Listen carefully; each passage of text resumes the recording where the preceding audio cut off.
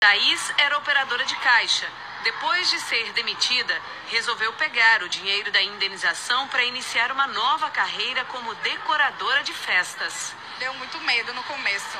Deu medo porque eu nunca fiz curso, nunca fiz nada. Então, assim, eu caí de paraquedas nesse meio louco de festas e para mim foi incrível, porque assim, tudo o que eu tenho hoje, né, foi graças ao meu esforço e dedicação